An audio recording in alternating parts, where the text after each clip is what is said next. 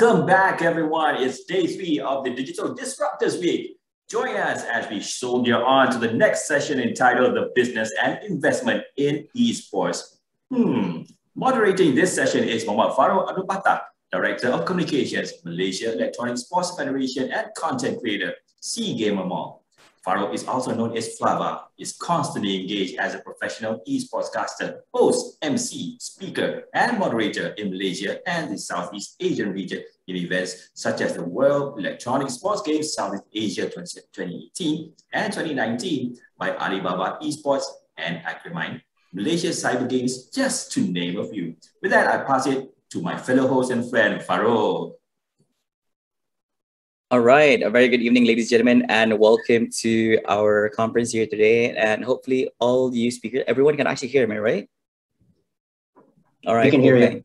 All right, so welcome to Creative Tech Summit Esports Conference in conjunction with the Malaysia Tech Month by Malaysia Digital Economy Corporation or MDEC. My name is Flava, and for our first segment for today, we'll be talking on a topic um, called Business and Investments in Esports. And I've been given the privilege to actually invite uh, three amazing guests to actually join us for this segment of. And, you know, in most cases, when a moderator, they say, say three amazing guests, in most cases they lie just to make you know just to make the segment more fun but uh, trust me on this like they are amazing all right like first of all i would like to uh, first our first speaker for today we have Mr. Frank A. Sliwka. Is it correct? Is that is that the correct pronunciation? Mr. Frank A. Sliwka? S L I. Perfect. You Perfect. All right. I'm, I'm doing great. Much better. much much better than himself right here. All right. Mr. Frank is joining us. He is none other Chief Operating Officer of Epulze joining us for today. Mr. Frank, thank you so much for joining us. And it is truly an honor to actually have you join us because um, I think uh, I think uh, I think this is our first time joining in together in a segment. Uh, for our two panelists, especially the other two panelists, we've actually been together in uh, a few conferences before, but I think this is my first time together with yourself, right? So welcome and thank you for joining us. Thank you.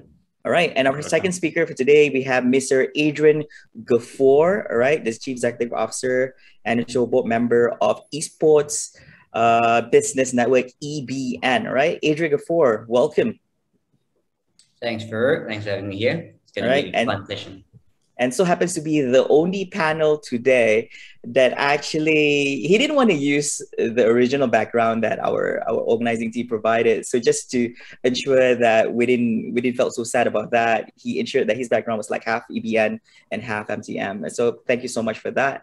And uh, of course, third and not least, our final speaker, third speaker for the day is none other than the CEO of One Esports, Mr. Carlos Alimurung himself. All right, Mr. Carlos, thank you so much for joining. I believe also uh, this is actually the second time before this we actually had a conference together, and it is great to actually see you joining us for this segment. And I believe that all three speakers that we have today is able to actually give uh, huge insights with the topic at hand. All right, so let's not um, waste any more time. Let's jump into it. Speakers, are you ready? Adrian? Yes. Yes. Frank, Carlos. All right, great. Well, all right. So first of all, first question to the floor is right. Uh, would you mind sharing a little bit about your background before starting a business in esports? Anyone, anyone, feel free to say. Yeah, I mean, I'll, I'll start. I'll start. Um, so before joining uh, One Esports as CEO about two years ago, I uh, was the chief commercial officer of another esports startup called Battlefy. I was there for about four years. Battlefy is the world's largest yeah. online esports competition platform. Yeah. But I think the more interesting story as it relates to the panel is before uh, joining Battlefy, I worked at a very, very big media company in the United States, a company called Univision which is the largest uh, Spanish language media company in the United States, serving over 70 million Hispanic Americans. In my last role there was corporate development, looking for investments. And one of the uh, companies that I was exploring was essentially Battlefy. And that talks a little bit about my transition from going from kind of my earlier career, which was in management consulting and consumer electronics and traditional media, and how I professionally got into esports. It, it was really my corporate venturing days that got me exposed to the business uh, essentially seven years ago. Interesting. All right. So, Adrian, I suppose. Yeah, so um, my background prior to esports was in advertising and marketing. Um, so was in New Zealand, um, studied marketing and advertising, graduated there, worked there for an advertising agency called Shine, um, did quite a few pretty awesome clients, came back to Malaysia here uh, for a holiday. That was about 10, 11 years ago now. Um, joined a company called Grey, worldwide here in Malaysia. Now it's rebranded to Geometry, uh, handled everything from um, British American Tobacco all the way down to FMCG. Uh, left that, um, joined a little startup at that point in time called Says.com. Not not so small anymore because now they're known as Rev Media Group. Um, and then um, after the their first acquisition, I jumped out, got the startup bug, and I was like, hey, let's let's jump into an industry um, that we can kind of build and grow, right, um, from ground up. And that that industry happened to be esports um, started an esports marketing company called uh, the Gaming Company, and um, now we've got um, a really really big group called the Esports Business Network, um, and and about five or six companies below it, and the esports marketing agency is part of it. It's been a fantastic journey so far. Awesome, awesome. All right, Mr. Frank is yeah. I really can't remember my life before esports. so it's, it's so long ago. But uh, no, I am originally coming from, from the convention and exhibition uh, industry. So I was, when I was uh, based in, in, Germany back, uh, I think 20 years, I was responsible for the business strategy of one of the biggest uh, convention center in, in Germany to attract new industries, uh, to, to run uh, exhibitions in Germany. One was household appliances. This was not so interesting for me. But then we came up with consumer electronics and games. So before I, I, started in esports and gaming, I would come from the convention and exhibition area.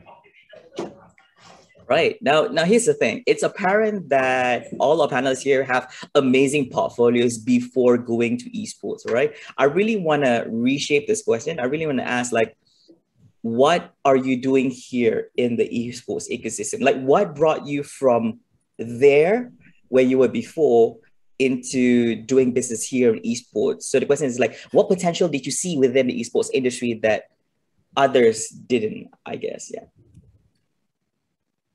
You know, you know, maybe I'll start. I um, and again, I'll, I'll go back to a little bit my own personal history. So before I worked at Univision, I worked at LG Electronics and I ran strategy for their North America business.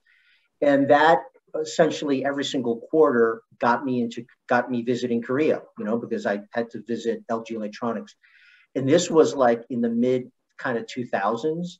And I, it was there that I kind of saw like esports like totally kind of take off. Like, you know, there were you know esports athletes on billboards and, and all of this stuff and um, at the time I, I will admit to you even though I, I, I, was a lifelong gamer and followed a lot of the you know followed um, starcraft and, and league of legends and things like that i at that time thought that was kind of a decidedly a korean thing i, I was like you know conformist society you know high broadband penetration um, that, you know, that's never going to take off in the United States, you know.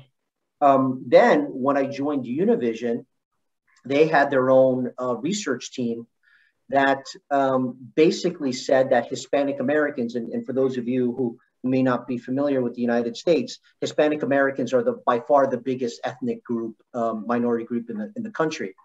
Um, uh, the research had indicated that Hispanic Americans way over indexed on gaming. And so I would that kind of triggered something in my head. I was like, wait, like this thing happening in Korea, maybe like there is a chance for this thing to to to go broader than just Korea and China. Um, and then you know we, we know what kind of happened with things like Twitch really blowing up the spot and, and giving a, a, a platform for people to talk and and celebrate esports. Um, but that was one of the one of the things that really got me compelled to join esports and, and, and at the time Battlefy, because not only was I passionate about the space as just my own hobby, but because I kind of saw um, early on, I had the benefit of seeing what was happening in Korea, and then seeing a kind of the the the uh, the small green sprouts of, of esports in the United States in, in kind of the early mid 2000s that really kind of made it a compelling option. And then to answer your question even more specifically, how, like how did you get into esports here, here, like in this part of the world? Um, you know, I had, you know, completed four years at Battlefy. I had an amazing run there, still have an incredible relationship with the company.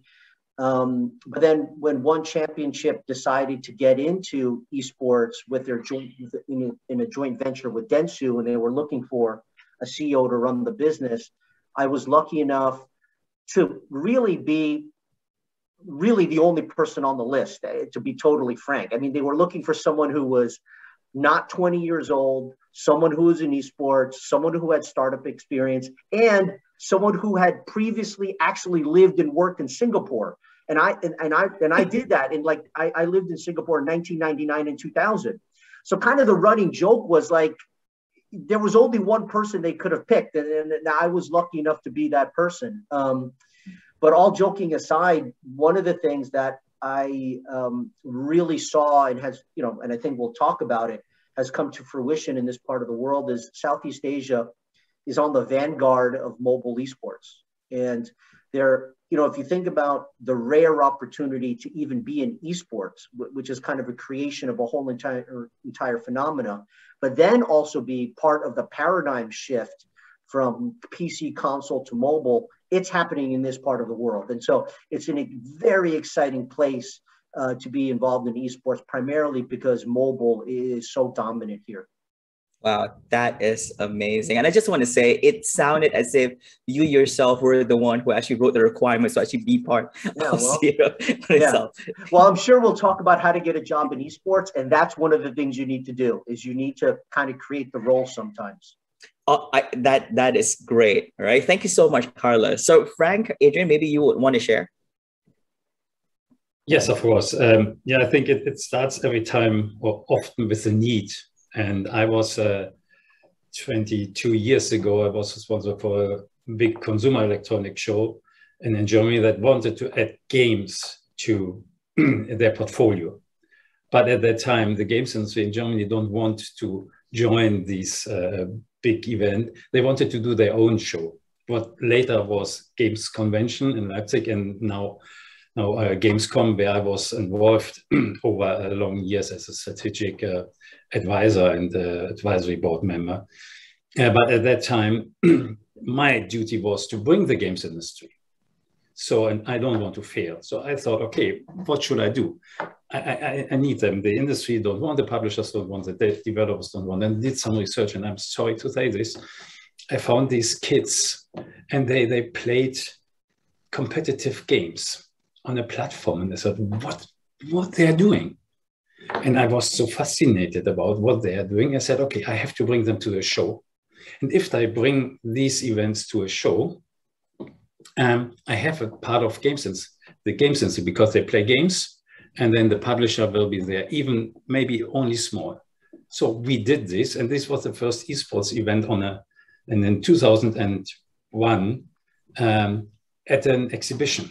So you, you can imagine what, what, what is uh, happening now. We have a lot of events doing all our big uh, games industry events. So this was really the first one. And I was so fascinated about what these kids uh, did and so I said, okay, I have to be in, in this industry and help them to, to establish esports. We started first with Germany. So, and um, then it goes more and more international. And um, so these young guys, this was the ESL guys, by the way.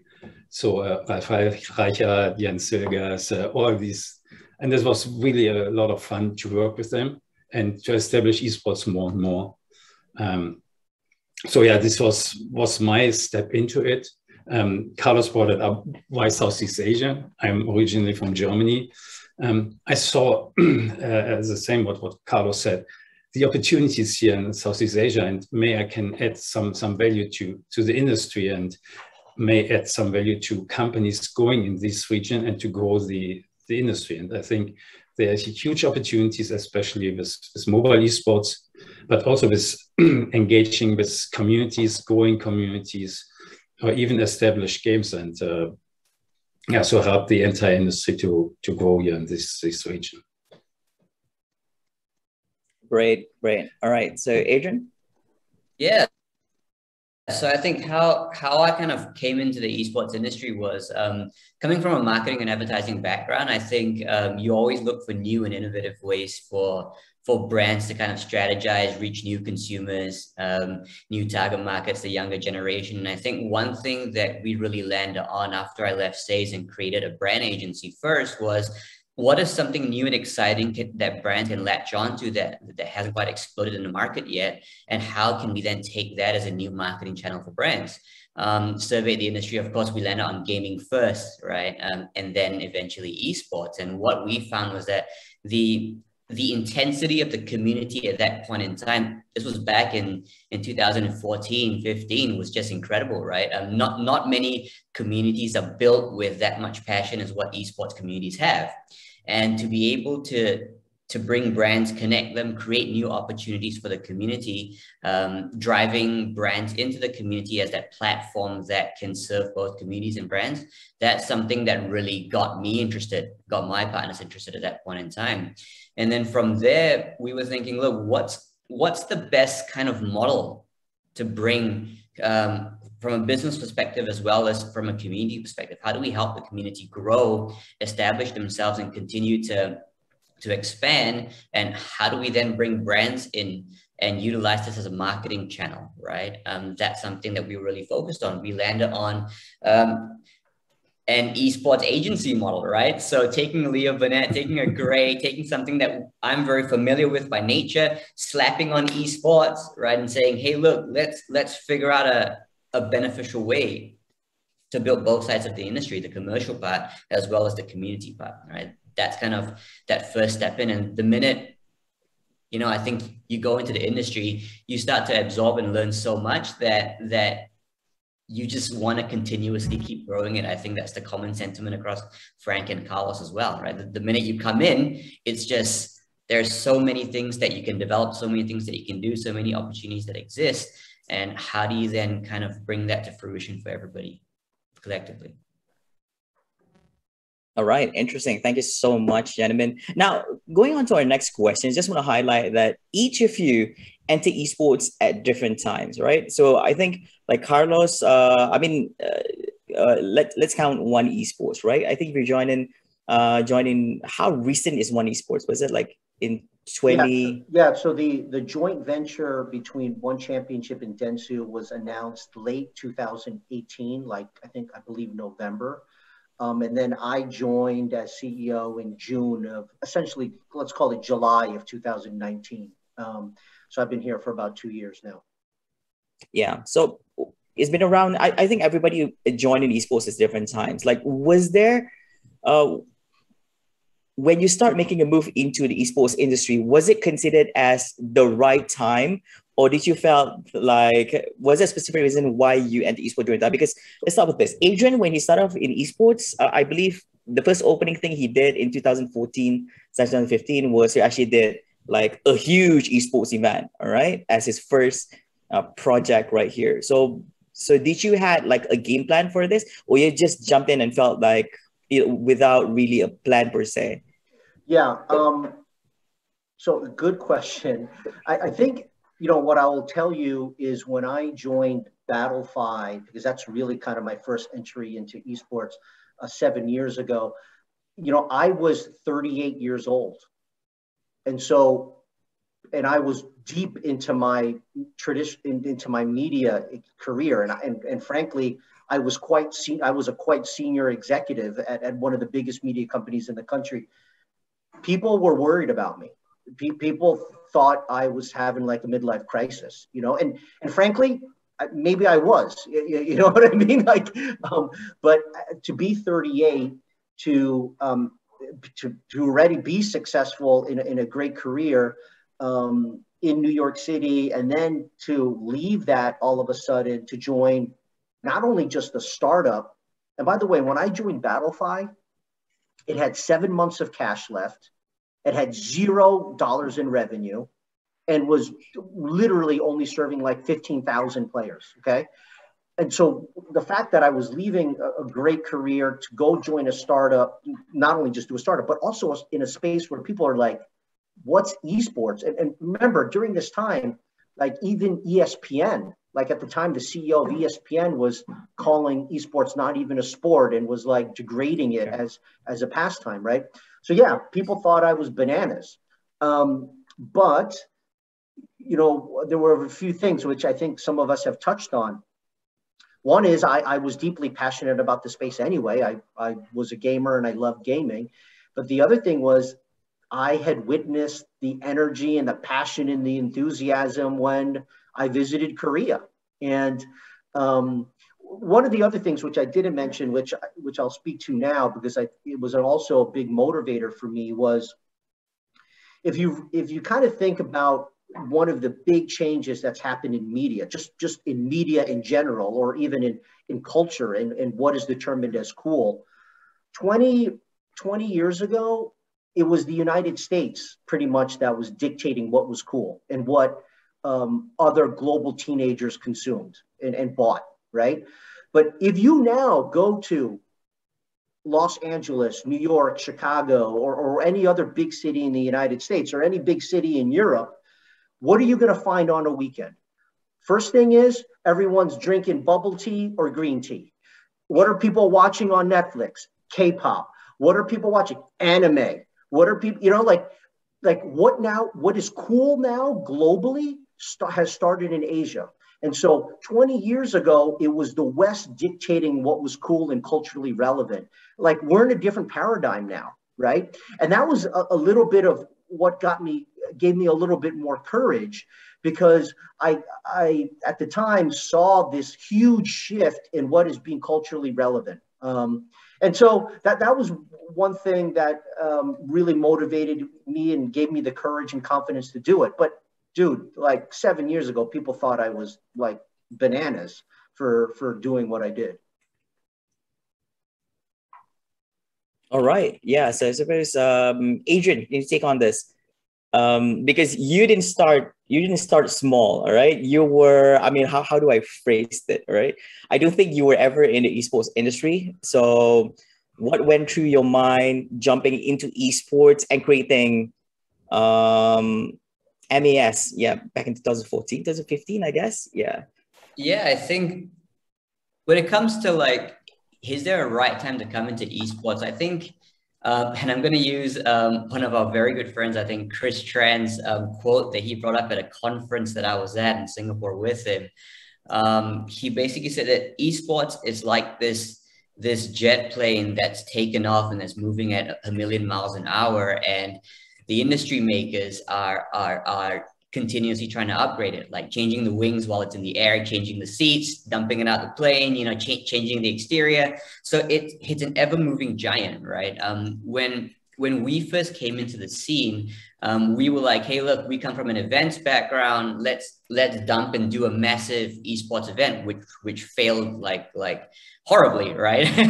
but um, the one core thing that we actually took out of that was, look, um, at that point in time, we were the first um, global event to be held in, in Malaysia, right? And we overreached, right? Um, but we took a lot of lessons from that, and I think the entire industry did, and started to build off that, right? Um, that that's something which I'll never shy away from. It's taking the failures that that we've had as a company and personally myself, and how do we then re-innovate that to create a, a stronger future for the community, for esports, for our business, right? Um, how do we take those learnings and really push that forward? And I think that over the years, we've done a tremendous job. My partners, the, the team that's been with us from the very start, um, that's, that's something that I'm very, very proud of, right? So whenever someone asks me, oh, dude, what happened to all these events? I'm like, let me tell you a bedtime story, right? Three hours later, I've gone through the entire issues of it, but I've also gone through, we learned so much from it and we, we wouldn't be as strong as we are today if it wasn't for all of the things that, that kind of went wrong at the start, right? That's something that, that I'm always going to be very grateful for. It's like reading a hundred books in 30 minutes, right? Uh, that, that's interesting insights right here. So I guess next I will go with Frank. I, I believe that Epulze, uh, the platform itself was actually established in 2015. Like I believe during that time itself, there's already uh, a number of platforms being built in the same time as well, right? So uh, like did you felt like it was the right time to actually have this, or did you felt like you felt like doing it right there and then? Yeah, I think with this, with my history and um, when I started esports and uh, from from what I said earlier, I was fascinated what these young people are doing. At that point, I also saw the business opportunities back uh, 18, 18, 19 years ago. And what, what we started was to, to, to, to first in Germany to create a, a structure. So with association, with uh, B2B conferences, with, uh, with uh, new events, what, what, what comes up, um, and establish them within the games industry and then go more international. So we work with, with the, the, Koreans to establish um, ISF, for example, um, and, and, and grow, grow more and more. Um, but I think what at this time was missing was, was really platforms. They can serve um, the, the purposes of esports and, uh, of course, enable uh, engagement with, with clients and uh, give, give more business opportunities. Um, Epulze, I think they, they started in, in 2015, uh, really uh, three brothers. Um, they, they didn't find any platform that was suitable for that at this time. I'm sorry for, for Battlefy for that, but for their, their purpose, they didn't find this is suitable. And they said, okay, we have to develop something. What serve the, the, the players' uh, behavior and attitude and what they want to achieve and one of the founders, um, he spent 15,000 hours of marketing research in Dota 2. So he was in the top 100 of the Dota 2 from, from the player side. And he, he really uh, realized what is needed. And so they, they it into the business. And this is uh, one reason why, why esports did it in a different way than other platforms and they they focused on, on on one game first to grow it. But I think especially with with Battlefy and other platforms, this was one of the basic to grow the entire esports business. And now we have another opportunity with uh, mobile esports. So I think these um, so some some steps. So I really had was was very lucky to to get different, let's say, waves and the up and downs of the industry, what, what I saw. And um, I'm, I'm, I'm, very happy to see that since uh, 2017, 2018, the industry is only growing. Mm-hmm. Yeah, that's great. I really, really want to touch on the topics on your platform, but we will get into that really in a bit. All right. Yeah, but before no, no, that, no, this, yeah, this is this is fine. But um, I think this was was uh, years ago. It was really an interesting time to see how you can structure that and how we we are were able to establish the esports as a topic within the community and in the, the population, but also on the uh, politi- uh, politics side with uh, politic parties. Um, we, we had a lot of interaction with the, the um, Games Industry Association in Germany, and that helps a lot then to spread it out to Europe and then globally. So it was a really um, very interesting side, time to, to shape the industry. All right, thank you very much. Now, gentlemen, um, I discovered this uh, interview which actually happened in called Fair Game with Kristine Leahy, where Mark Cuban, the billionaire, actually mentioned that owning an esports team in the United States is an awful business. All right, so this is what Mark Cuban said, and and being in Asia there's money. Now, how much of this is true? And if it is, is that why you gentlemen are right here in Asia doing business in esports? Oh, I just I just want to add one thing. Since Carlos has been doing business in the United States, probably he can address like is is it really bad in the United States when it comes to esports? Well, uh, you know, well the first thing is is man, it's really hard to to ask someone, "Hey, are you willing to contradict Mark Cuban?" Um, but uh, but but I but I will try to do that. Look, there, um, the United States is an incredibly competitive sports and entertainment market. I mean, like if you think about the the the sports properties that exist in the United States, dude.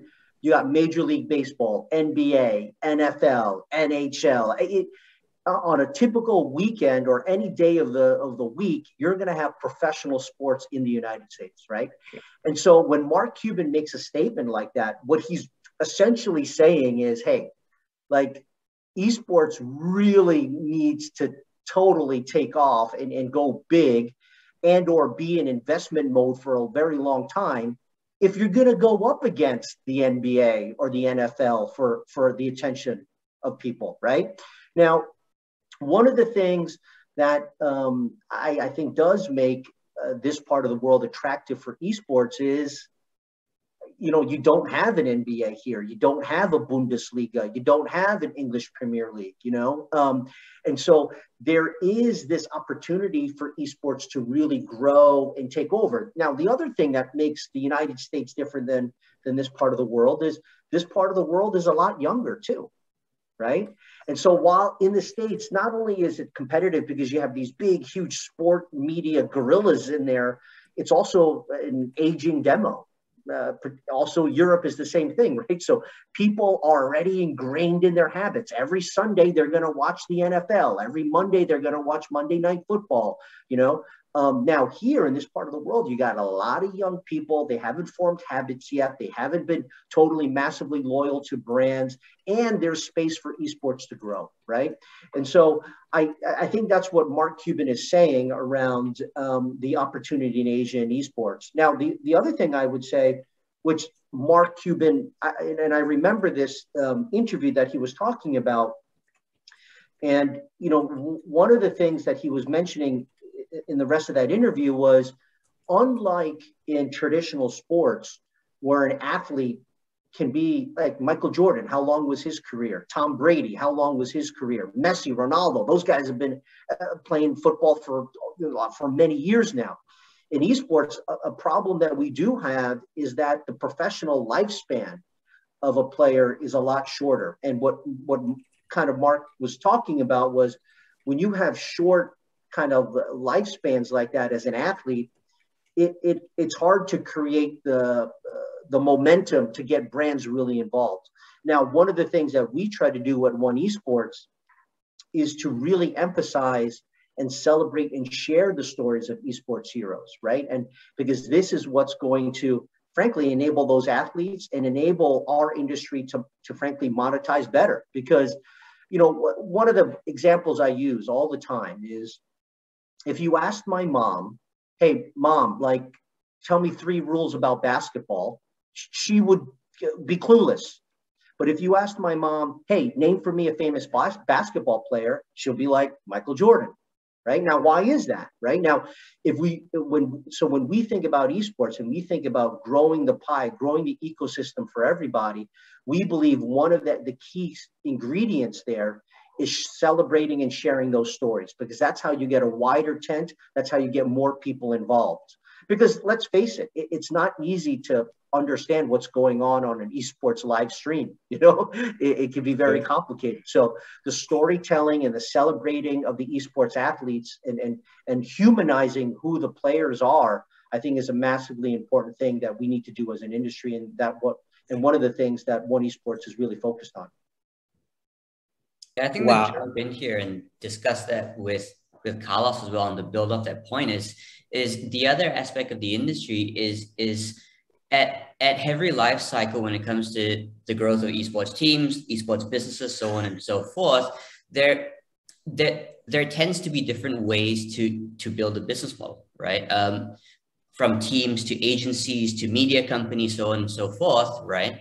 Um, and and at this point in time, I, I really do feel that people are starting to look at the industry as a whole, looking at the ecosystem going, look, how, how do we really build solid um, monetization streams, revenue streams within, within our companies to do with esports, right? Um, coming from a community driven industry, right? Um, to put that commercialization on top of it is going to take a lot of time. And I think over the last 10 to 15 years, that monetization and business model has heavily evolved, right? From, from teams coming up and going to get pulling together their monies at the start and then pulling in a couple of sponsors and having prize pools that core core revenue source of earnings, they've now diversified it multiple different layers, right?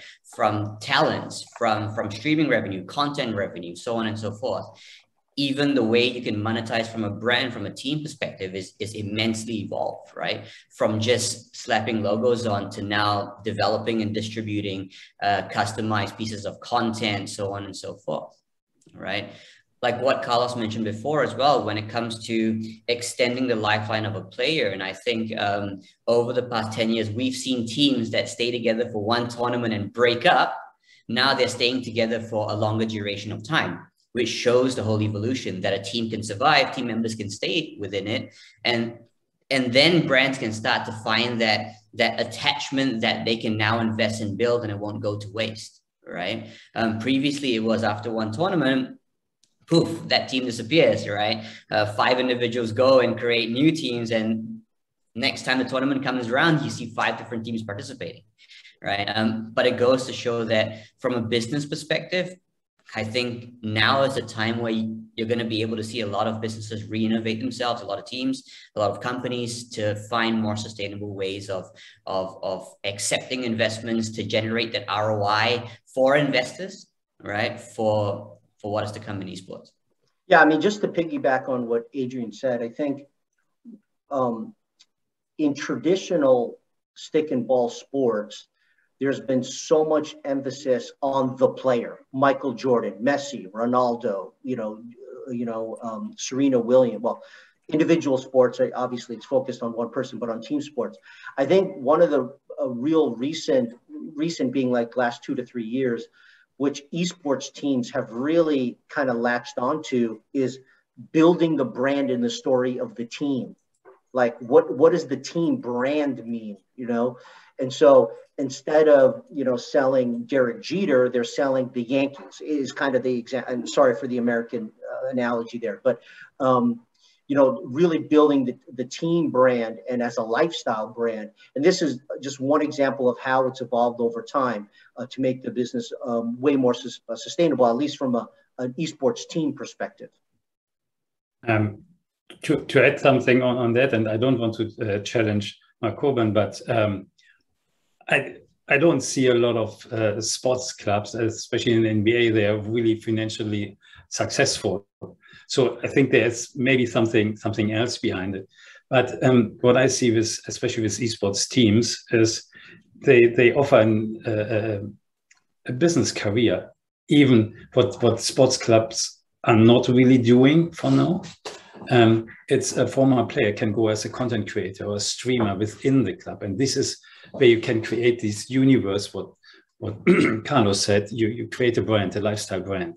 So you have maybe more steps for spe- uh, for for players to stay with the club or with the team to to get into different, let's say, professions or business within the community and the club. It's I think for, for me it's a little bit a difference, and I think from my perspective, I'm, I'm not so involved in, in, esports teams, but I think esports team can learn a lot from the sports club, and sorry to say it, to make it better. All right, thank you so much, gentlemen. Uh, let me just keep a note here to submit these responses to Mark Cuban. A number of people are disagreeing. Yeah. All right. So thank you so much, gentlemen. Yeah, these are these are great responses right here. And um, yeah, jumping on to the next one, I, I have a question. First, I would like to start off with, with Mr. Frank, right? Mr. Frank, um, your business, uh, Epulze, is a platform, all right? And compared to other platforms available in the market, yours is a little bit different. You you start off being focused on Dota 2, and now you have Counter-Strike Global Offensive, CSGO, as well as Valorant. But if you were to compare your platform with other platforms available on the market, most of them would actually have even more game titles available on the platform itself. Is so is this uh, business model you're running with just three game titles working for you, or is there a specific reason why you're doing this for Epulze? Yeah, for us it's a business model, and luckily for our investors as well. So we we, we just got some month ago the csa funding, uh, what puts, of course, pressure to the business model and to the team. But it shows us that we are on the right way, and maybe it's different. Um, first of all, we are looking to the grassroots. Second one, we want to enable esports for our community, for our partners. And then the third one is uh, think global, act local. If you're following this, and I have 25 different games on the platform, what's it's great, and maybe 2 million users. And if I then divided these million users to the numbers of games I have at the platform, and then I look into the regions or even in countries, then my percentage is very, very small. So I can't really serve uh, our partners if we are talking about grassroots, and this is our business, um, in, a, in, a, in a very good way.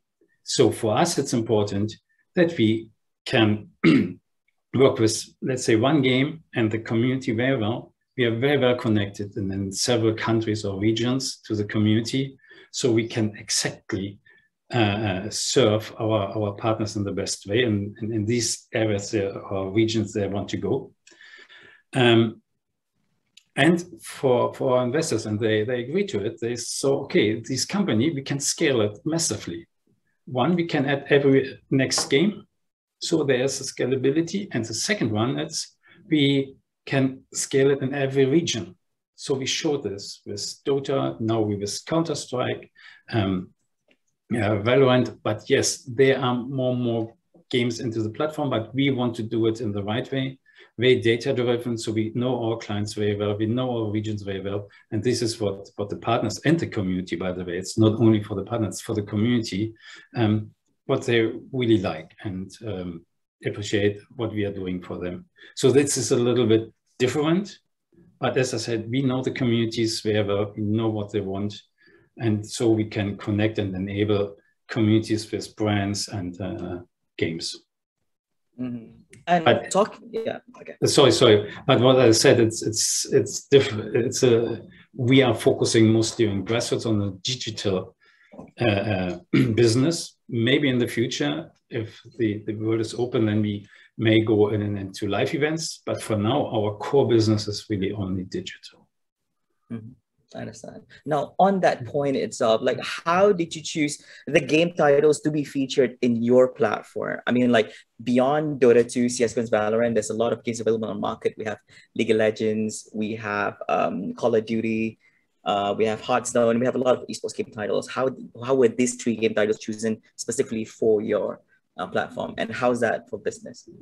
So Dota 2, if even let's say it's an oversaturated market, it's a proof business model. It works, and yes, uh, we, we we hope that Dota 2 will existing in 20 years. Uh, but we know that some games are very popular than uh, if we have StarCraft. So you can't really, as in the business, you can't really rely on one, one game, of course. So you have to add, add more. But we do our market research. So where we think um, where the best communities in, in, in, in markets, they have value in terms of spending of the community. So for our business, so where's there's a lot of spendings, we are active communities and then we look, okay, which, which games are uh, popular in this market?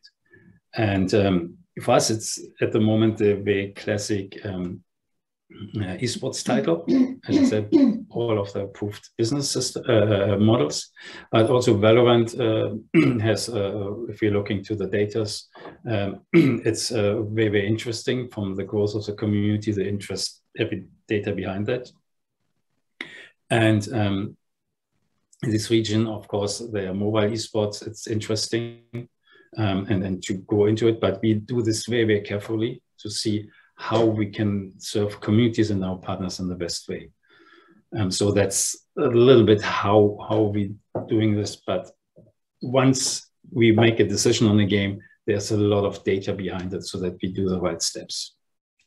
Understandable. Uh, can, can I just simply say that it is much more manageable this way rather than having too many esports game titles within the platform itself? Uh, yes, of course. It depends on the size of, of, of, your team. Of course, if you have dedicated teams to, to games and you can grow it massively. But as I said, for us, it's more important to, to serve communities in the right and the best way. And from perspective of the community, the users, but also for our partners. and this was was the the, the the, the most important reason for us to focus on on only some games. And for now, from from from the business side, um, we did it, I think, in a very very good way. All right. Thank you so much, Mr. Frank. Uh, next one, I have questions for Mr. Adrian Gaffor. All right. So I think Adrian, um, your portfolio, you uh, you're working together with EBN, but EBN itself as a whole is a big portfolio. Can you give us a breakdown of what EBN is? Yeah, sure. So the the esports business network in a nutshell is is um, it's a group of esports marketing focused companies, right? Um, we've got TGC, which is the gaming company, which is a, a turnkey uh, 360 esports uh, marketing agency, right? Uh, the end to end from brand strategy to planning all the way down to the execution, um, as well as the implementation of branded campaigns. And ultimately, what we want to do is to bring brands into esports right? We've got Prime Live as company number two. It's a talent management company um, specifically designed to to kind of bridge talents with brands and vice versa. Um, Orange Esports Cafes is probably the oldest business. Um, we've been around for about 18 years. Um, it's the largest esports cafe business in Malaysia at this point in time. Um, Orange Esports is a team organization um, that that is uh, was established in 2011, if I'm not mistaken. Um, and then we've got the uh, EBN Esports City, which is a 65,000 square feet um, esports facility, right? We've got a thousand capacity esports arena inside. We've got um, fully equipped green screen studios to host any virtual live broadcasting uh, venues, as well as um, our own uh, EBN HQ situated in that space. And that, that's in the heart of KL. And um, we've got Liho as well that joined the family, I think, early this year. Um, it's part of our innovation strategy to rebuild and reform our esports cafes when we push forward with the future generation, right? There's always been this taboo with with esports cafes in the past, right? Like the minute you mention that, it's like, hey, you've you're gonna fail your studies, get kicked out of school, you know, stop, stop going there, right? So what we want to re-innovate it to become in the future is this youth hub where you can go and grab a cup of coffee. It's a cafe, but at the same time, there are gaming machines that you can also go and play in right? Um, so everything that we do here has has a brand focused mindset, right? From point of sale, from touch points with Orange Esports cafes, with the EBN Esports City, um, all the way down to uh, the more digital touch points that our marketing agency, TGC, uh, Prime Life with the influencers, Orange Esports as a team, as a talent management um, house can also combat, right? Um, ultimately, what we want to do is to be able to craft uh, branded strategies that that reach an arms and a length um, away from on ground to, to the digital world.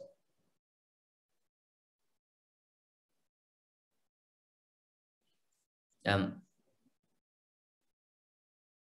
yeah, I think you're on mute. My apologies, my apologies. All right, so we just want to talk a little bit about uh, the themes that you're working together with.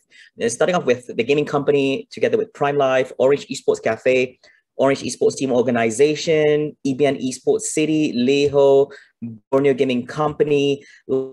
Like, what is it that you're looking for as far as companies are concerned when it comes to working together? Because I know it's not as easy as ABC to find a, a working partner, and especially when you're working like even finding one company to, to work together with is is not an easy feat but you're joining quite a number of businesses together right here no, I think it's about finding that that that core objective that everyone is in line with, right? Uh, talking from a company standpoint or from a group standpoint, I think what we want to be able to establish is a group of companies that all drive towards the same vision, right? Is to build that that ultimate esports marketing ecosystem for brands and advertisers to latch onto right? So everything that fits within our centralized vision is going to be that that partner that we do want to work with, right? Um, One Esports, we have worked with you guys on quite a number of occasions, right? Uh, even with Epulze, we've actually worked with you guys on home ground activations for Orange Esports as well. So ultimately, what we want to do is from a brand perspective, we want to serve as that platform that connects brands with the community, right? And that community can be community companies, community uh, partners, so on and so forth. And then vice versa, is we want to be able to provide that, that complete ecosystem that, that startups can latch onto and that can leverage off us at the same time, right? So ultimately, we're beneficially building that industry right? And everything goes towards how much value can we drive back to the community when it comes to um, hosting tournaments, when it comes to influencers, when it comes to revenue entering the industry to increase that pie, like what Carlos mentioned before. I think it's a very important play for us here in Southeast Asia. Right. And from a talent perspective, I think that um, on top of qualifications, so on and so forth, like a lot of people come and say, Hey, I don't have qualifications for esports, right? But here's the thing right? How do you get a qualification in esports at this point in time? right? There is no concrete uh, ground rules that says that you need A, B, C, D, E, F, G to be able to be part of the esports industry. So I think for us, when we're looking for for solid team members or new new new uh, people to join the family, I think it's really about the attitude. It's about the grit that someone has to come into a growing industry and to take it by the horns and just continue building it with us. It's going to be, it's not a walk in the park. It's a lot of hard work. It's a lot of research. It's, it's a lot of rapid growth personally, as well as within the industry to, to help boost it up. And I think that that ultimately for me and for us as a group, that trumps everything. It's about the attitude, the enthusiasm, the amount of grit that you have um, to be able to survive in the industry. Awesome. All right. Thank you so much, Mr. Adrian for And of course, uh, Mr. Carlos, I do have some questions for you on this. Now, everybody knows that before one esports started, everyone knows the one championship, all right, which is which the brand is mostly related to mixed martial arts, Muay Thai, kickboxing, which was formed all the way back in 2011. So the first question is, what is one championship doing here in esports? You know, because you, you told us a story about like, oh, they were looking for somebody to actually work on esports, but what was one championship really thinking when they wanted to expand into esports?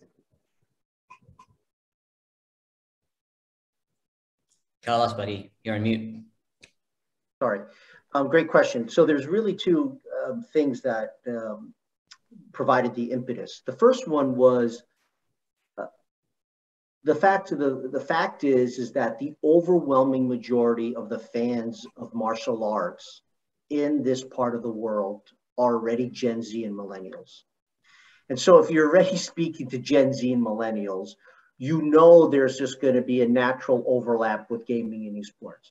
So, and that's what they found. So, one was that just from a sheer audience perspective, there was an overlap there, which, in, in certain aspects, they we believed, and which came true, is that there was this unfair advantage in getting to esports because we already had this heavily Gen Z and millennial audience that, and, and because of that, they were already on mobile right? So that was one thing that I think was a, a business insight that gave the courage and the confidence to get in. The second is, um, you know, Japan has an incredible heritage in game development, but it's very emerging in esports. And so to be able to do an esports joint venture with a company like Dentsu, which is like the best big brother you would ever possibly want to, to try to get into Japan for esports was another huge kind of thing that kind of drove the decision forward. And then the third, um, which was around our assets and capabilities. You know, if you look at what one championship has done in martial arts versus, let's say, um, their Western counterparts, one championship has always been focused on the story of the athletes of the struggle, of the discipline, of, of humanizing who these uh, competitors are. And you know, when I um, was talking to One Championship about becoming CEO of One Esports, that was one thing from an assets and capabilities perspective that I really latched onto because, in general, I think as an industry we can do so much better and telling the stories of our esports heroes and esports athletes you know? And it, it goes back to my story around my mom and michael jordan. Like she knows michael jordan even though she doesn't know anything about basketball.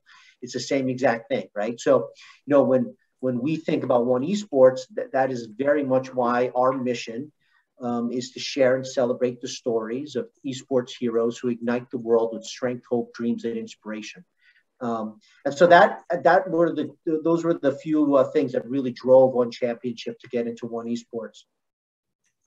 Wow. Okay, that's an interesting story. Now, I, I think second is like I think fans do expect since one championship expand to one esports, people do expect will there be one day where one esports will create an esports tournament that would integrate having one championship inside together? Yeah.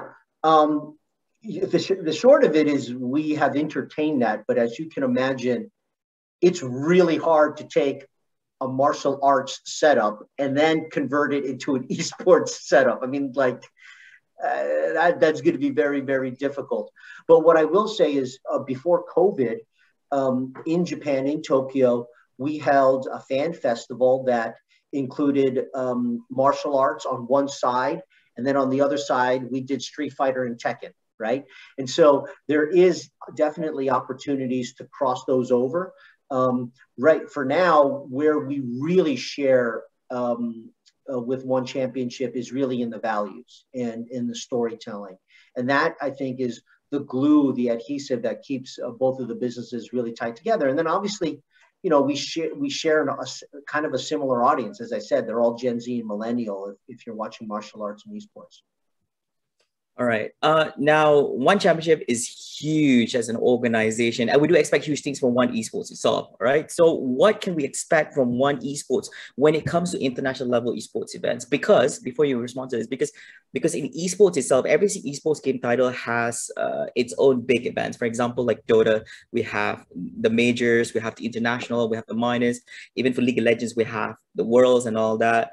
Uh, and I do understand One Esports already hold the majors Singapore um, so congrats for that. And so what can we expect? Will One Esports have its own world-class esports tournament in the future? Yeah, an interesting question because I would have answered we already do, um, and and and you know you've already said it. I mean we've we've held the we held the Dota 2 major in April, which generated more than a quarter billion views. Uh, before that, we did a Dota 2 Invitational, which essentially had the same teams in it. And we're going to have another big event next year. And then for all the events that we run now, I mean, they're pretty huge. Uh, you know, like, you know, we're running uh, the Mobile Legends Pro League Invitational. That's massive. We, we've done a lot of competitions with Activision Blizzard for Call of Duty Warzone. Um, you know, we actually are the official international media partner for LPL, which is the Chinese Pro League for League of Legends. And so, you know, one of the things that um, we agreed very early on about One Esports is um, this is going to have global ambitions and we're going to start um, globally. And, and we have, I mean, with all the big Dota 2 events that we've had. And you should expect us to continue to be marching forward on this. Um, kind of an interesting factoid is when you look at um, the audience for oneesports.gg, which is our own and operated website, um, which is already in the world ranked fifth, primarily because we're localized in, in all the relevant languages in this part of the world.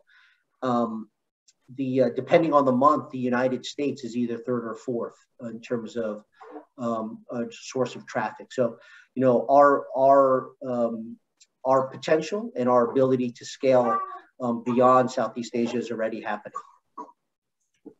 All right. Thank you so much, gentlemen. Now, I we do have some questions coming in from uh, the audience who is actually currently watching the live stream we have today. And one of the questions is, what sort of percentage of ROI range can an investor look at uh, esports investment to look at? Yeah. Um, um, this is this is very hard to say. It really depends on the deal and yeah. What what uh, esports venture you have. It's a platform or a team. So it's really, really hard to say it and which stage the company is uh, in terms of investment cycle. Yeah, I mean, totally agree with. It's a Frank. it's a very situational uh, thing. Sorry. Yeah, I, I totally agree with Frank. What stage is the company? What where in the value chain are they playing? How experienced is the management team? What games are they involved with? Because different game developers uh, have different levels of uh, let's call it authority in, what happens. So there are a lot of different um, uh, things that are involved in, when you think about ROI. Now, what I will say is, as I mentioned to you before, I was in the corporate venturing space, right? So, what were some of the things that I was thinking about when I looked at a company like Battlefy? First thing I looked at was, do I trust the management team? and and not not only just trust trust in terms of like are they going to do not not only obviously are they going to be good people and do the right thing. What i mean by trust the management team is are they smart? Like oh, do do they have the experience? Do they have the capabilities to run an actual business? Um, in gaming, there are a lot of passionate people, but I don't know how many of those passionate people are like shrewd business people, right? So that's the first thing that I would say to any investor here, which is look, number one thing probably is the quality of the management team, um, even more than the idea. The second is um, uh, to really understand that any investment in esports is going to be a multi-year journey. And um, if anyone is promising like immediate like returns, I would be skeptical. I mean, because this, I believe this is, you are in the, you know, first few stages of this industry. Um, so you got to be, you got to have a real strategic mindset when getting into this space. Those are my kind of my two biggest of advice um, when when thinking about investments in, in esports. All right. So uh, I do apologize that we're actually running out of time, but I think I just want to squeeze in one more question. My apologies to MDEC with this, right? I have one question. This is uh, a marketing and advertising industry who intends to venture into the Singapore marketing esports industry. Sorry, I, you broke up there. Oh, so, so apologies. Um, what would you what would your advice be to someone from a digital marketing advertising industry who intends to venture into the Singapore marketing esports industry? Yeah. So let, let me broadly answer this question because um, I'm increasingly, and, and it's great because now that esports is blowing up and people are interested in it, there are a lot of experienced people who are trying to get in, into esports, whether it be, you know, the, you know, so I get a lot of resumes with and, and CVs from people who, who are uh, coming from a lot of big brands, got great experience. And the most important question that they got to answer is show me how you, how your interest in esports has manifested itself.